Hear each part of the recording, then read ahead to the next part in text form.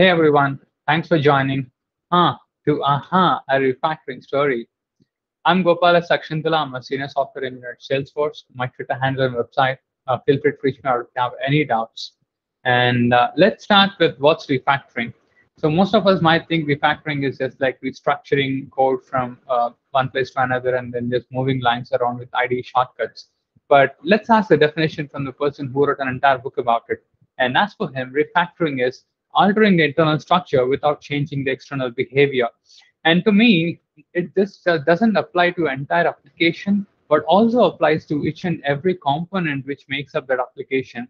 That brings me to the story of the talk is as a dev, I need to refactor to make my code base refactorable. So I want to leave my code base as a refactor in a state uh, so that it can be refactorable going forward. And that is just an agile way of saying, hey, I want to build my components like Lego pieces. Why Lego pieces? Lego pieces are the ones which can be reused uh, and replaced, and most importantly, composed together to form different structures. So that's refactorability for me. And how can we do that? So now that we sort of understood what is refactorability, we need to go and pitch this to a manager for funding. Of course, we all are busy building features. Nobody sort of gives you funding for refactoring.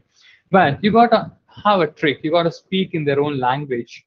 And this is what worked for me. So I went ahead with these three things and then explained him what methods am I focusing on, what obstacles my code base has, and what metrics will I use to measure what I have just done.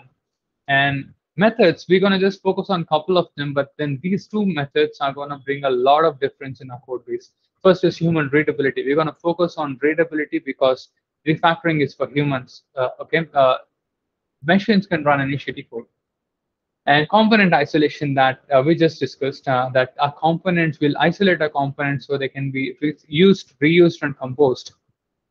Then obstacles, some obstacles that my code base has, uh, has like exceptions. My code base sort of filled with exceptions, and we'll see how exceptions can form entanglement between components or difficult to move around. And mutability, which is even unholy, and how it can invisibly create a lot of entanglements. And some metrics, uh, cognitive complexity is a metric which is inversely proportional to readability, and testability is another which sort of uh, mirrors uh, how how componentized your application is. So you can you should be able to test things in isolation.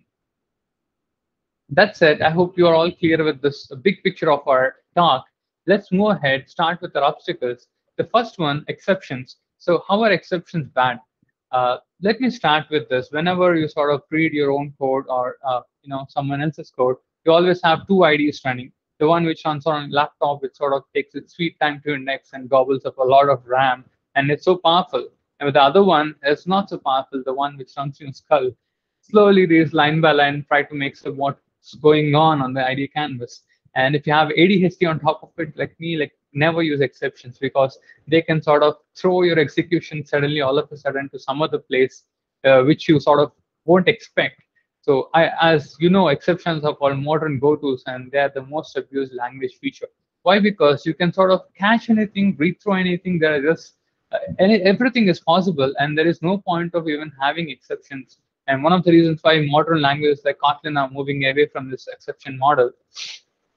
So, but uh, in our particular talk in this context, exceptions hurt composability. Let's see how that point can be proved. Imagine this particular innocent function, but then this throws an exception. Now this is bound to the caller. Caller has to sort of handle this exception. And if caller is notorious, he can even throw that exception at the top. So this function is sort of bound to the entire call stack. And as it throws an exception, you never know where it ends up. So, but then why does it need to throw an exception? The problem here is this exception is sort of, uh, this uh, method is sort of trying to communicate, hey, there is some problem. But it doesn't know how to communicate when there is no problem. Ideally, it should have used optional, which represents an effect of absence. And when there is no problem, you can happily return option.empty.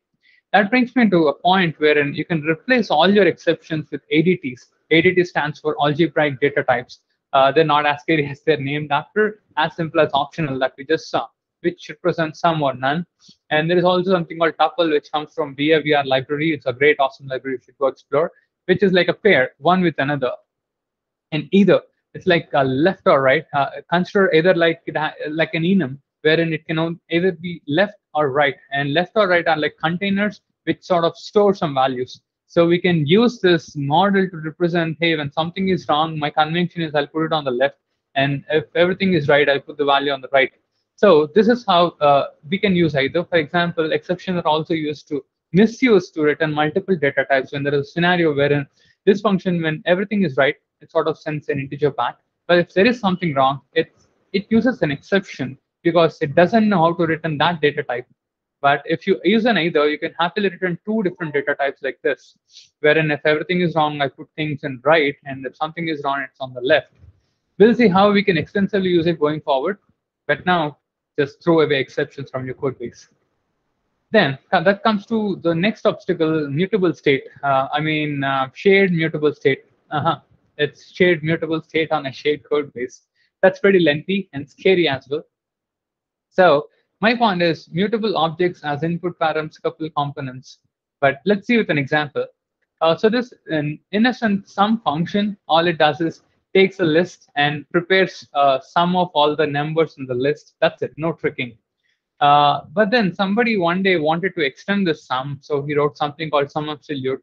Uh, so he sort of inverted the neg negations of all the numbers, made them positives, and reused the sum in the end. So everybody's happy. Client uses sum absolute. It's perfectly working for him.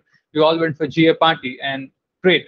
So again, after some time, somebody added this one line and he got this unholy result. So this might be a simple example. I just want you to magnify that such things, what happens in production. And uh, in production, he has to do a very painful debugging session to understand he just got bitten by a latent bug. And the latent bug is because sum absolute got a reference of a mutable data structure and he took that as a license to do anything on it. And I, I, in my book, it's not a problem with sum absolute. It's a problem with the client who is sending him a reference of a mutable data structure and expecting nobody should tinker it. But he tinkered, the sum absolute tinkered it. And then now what ended up happening is we, we just can't reuse the data structure anymore. And now the client and sum absolute and sum are intertwined you, because of this mutable data structure passing around of it. So uh, that brings me a point that mutable DS as input params is unholy for isolation. Never ever use mutable DS. But what about return types? If I you if I return mutable objects, uh, will I still have the same problem? You'll have a bigger problem. Let me explain with this simple example. Let us say you have uh, this simple function which is used to uh, return the laying date of an egg based on an ID, a mock code, and uh, it is a heavy operation and it has two dependent components. Imagine these two are independent components in two different modules. One guy takes this date, checks if it's before 15 and then returns true or false. Another one takes a diff from today's date and calculates age. Now, one day, this guy who is, has written get legging date thinks that he should improve his performance, is doing redundant queries for the same IDs, and then he went goes ahead and implements this query, uh, sorry, caching. Now, even everything is working fine, his performance improved, people are happy.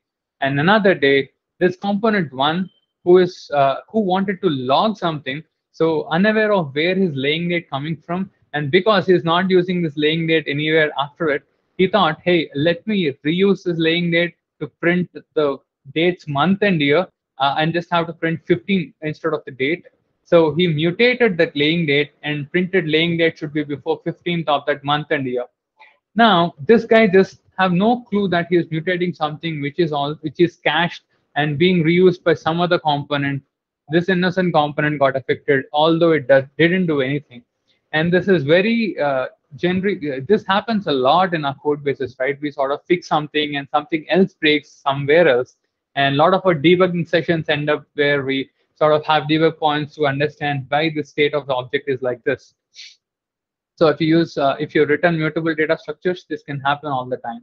This is quantum entanglement for me, like an invisible entanglement between two components.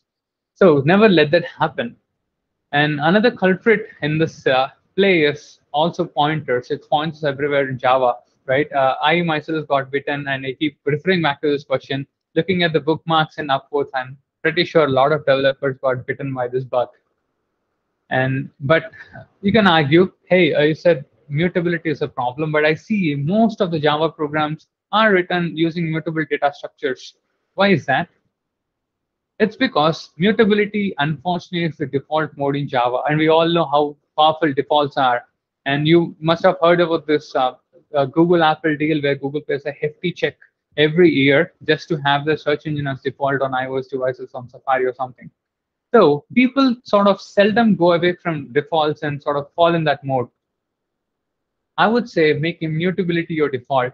And uh, as just like anything in life, uh, like discipline to beat default you need discipline so just like how we work out every day and how we have to follow traffic rules so in order to keep things in order so some quick wins uh, are like you make a habit of using final before vars and function params to guard your references and follow this immutable strategy to make all your poses immutable and but believe me it's not easy you can also sort of uh, depend on some third party libraries like Lombok, uh, Google Auto, and immutables but it takes a lot of effort for sure.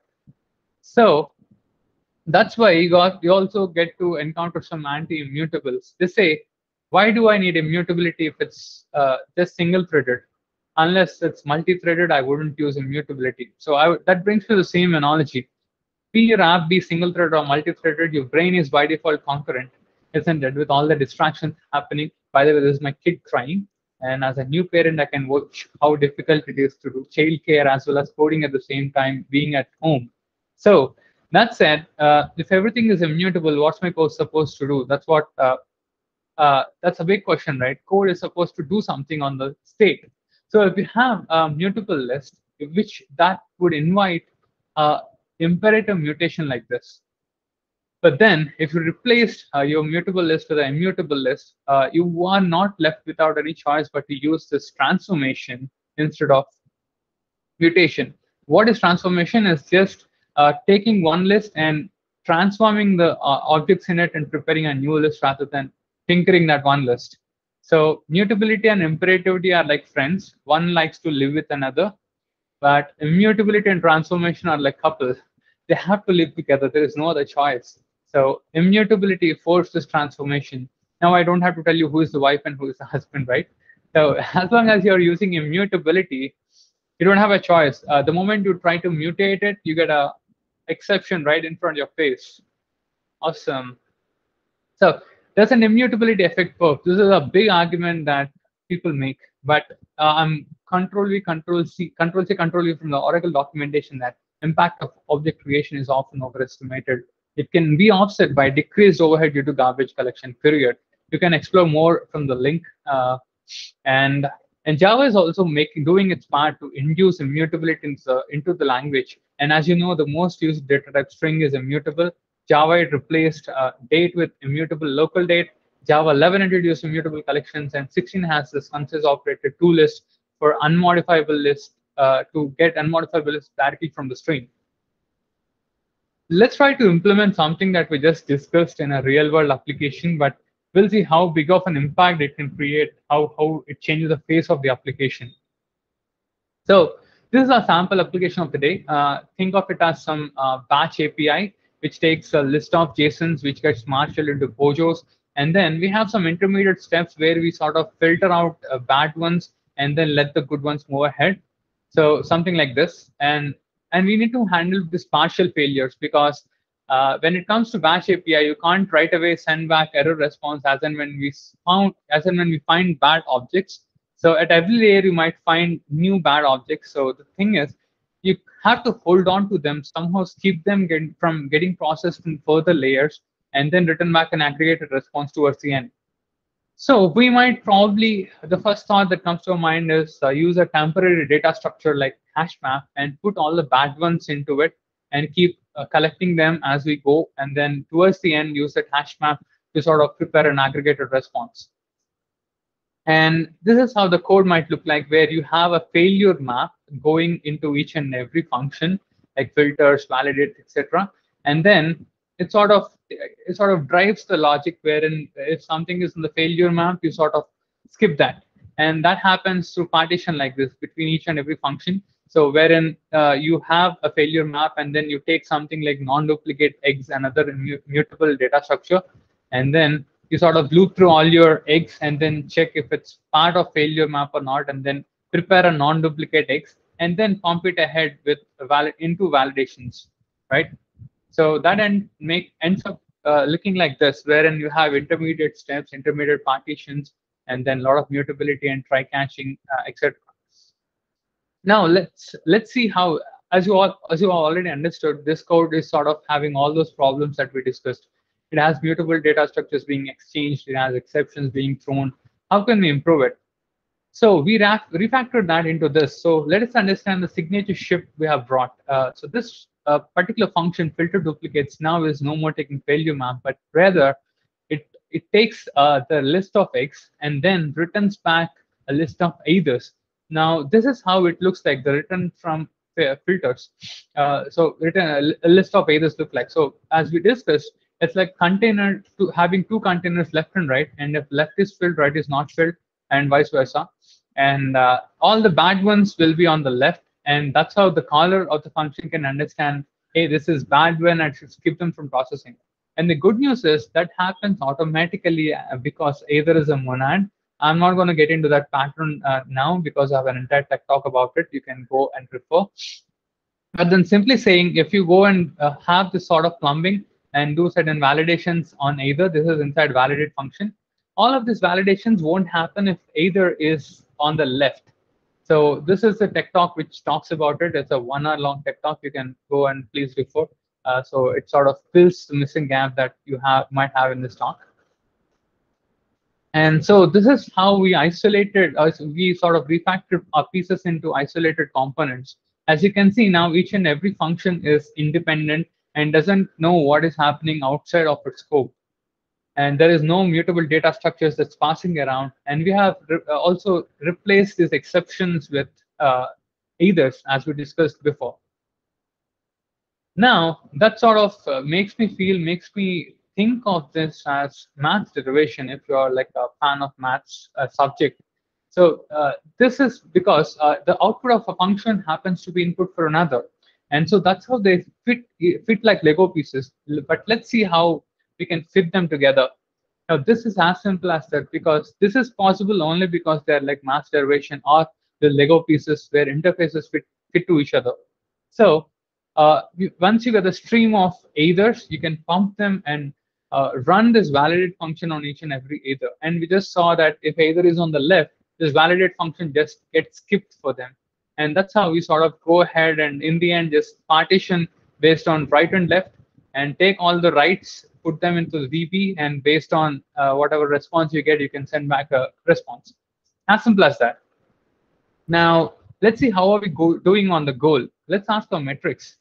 So our metric one is cognitive complexity.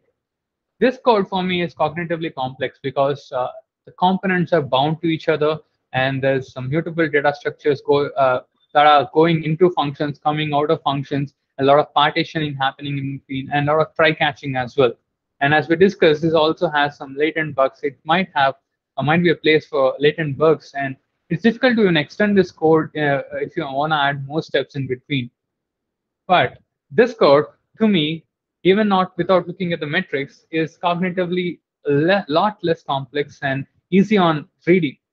That said, uh, this is when subjectively seen, I still uh, see, I mean, encounter people who feel this is complex. And complexity is something we sort of throw around uh, loosely without understanding what exactly is complex. So there are different types to complexity, like accidental complexity, essential complexity, cognitive or cyclomatic complexity, and even different layers to it, like unfamiliarity versus unreadability, strict versus non-extensible, etc. So in this particular uh, uh, particular code, what is complexity? It can be essential complexity because we sort of uh, uh, have a lot of filters and a lot of processing that we're doing. And it can also be unfamiliarity, probably somebody who did not get a chance to work on Java 8 or something uh, uh, sort of that didn't hear about eithers or something. So it's always possible. And as long as he got to understand them, all of this makes sense, just like any foreign language that we learn. And strictness this is something we sort of induced intentionally as we discussed.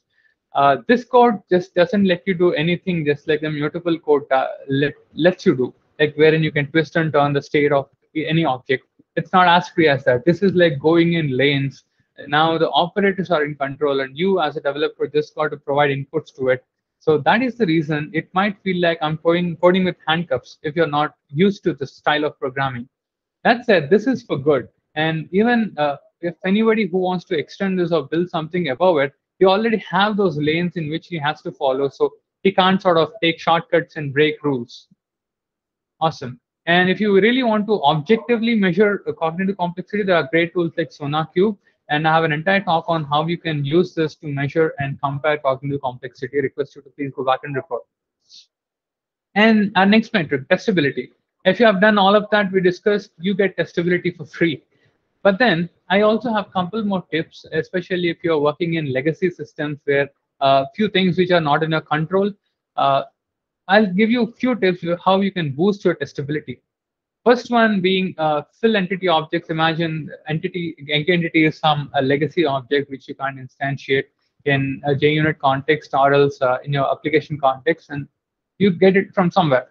And you let us say have to fill it with all the fields that are from the egg, uh, all the non-null fields. So this simple function, although this looks simple, uh, this has a problem uh, wherein because in JUnit context I can't instantiate an egg, I can't test this function right away without mocking it, and it has multiple if else if conditions, and I have to uh, test write tests for each and every branch. So I might end up writing tests like this, wherein I use verify calls to understand whether a particular call has been happening. And this for me is a brittle test because this breaks every time you add new field or uh, it is also asking for internal information, what is happening inside your unit. That's a big red mark because unit test should not ask for internals. Unit testing is not testing internals. It's uh, it's like end-to-end -end test for your unit. It should be like an idiotic bot which just fires uh, your function, gets the data back, and asserts on it. So that brings me to the point you should separate static from signal. What I mean by that? Static is like, uh, in this particular example, the one-to-one -one field mapping between eggs. And signal is how you actually fill, like using all the put and etc. So looking at the same example, this is how you can refactor that into separate static information. The field mappings like can be a static data, which you probably don't need tests for. And then the algorithm which fills, uh, again, this is a simple example. Uh, so the algorithm can take a BiConsumer like this, which sort of is used as a filler to fill the fields from egg to egg entity. And all it cares is it doesn't uh, know who whom it is filling it to. As long as I'm getting a function, I'm using that function to just call it and fill whatever it is asking me to fill. And this is how you can call it. So this particular function uses identity put, and this put will be called here. And this function algorithm doesn't know what is what is it filling into. Now, because of that, you can easily test this function in this way. See, uh, I'm using a hash map instead of identity. Now, this, that algorithm doesn't care if it's hash map.put or identity.put, as long as the BiConsumer, which takes two strings, this works. Now, this test can uh, is no more brittle and it doesn't fail every time I sort of uh, add more new fields, etc. So that's how you can sort of hit uh, uh, hit your functions which are sort of dependent on legacy objects. Another one, DI. And we all know like uh, dependency injection is something we need to inject all our side effect objects to constructors so we can mock them uh, in the code, in the mocking code. But the better part is don't try to inject your entire object if you're just dependent on one function.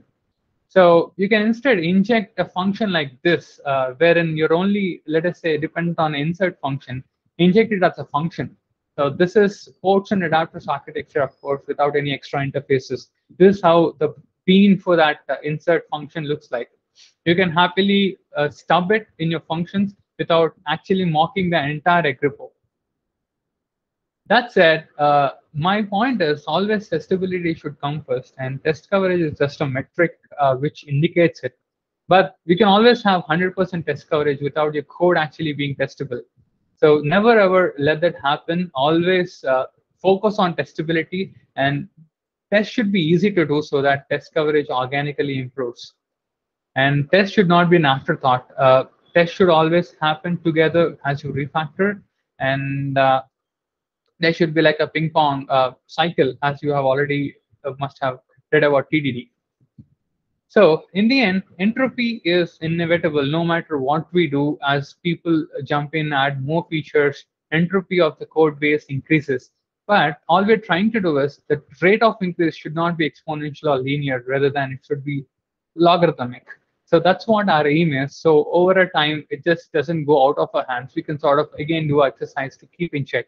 But then don't ever do this. Like let just go ahead and refactor half your code base, especially if you don't have tests, because you might end up in a situation like this. I intentionally left the last quadrant empty to leave it for your imagination or what all can happen if you refactor without tests.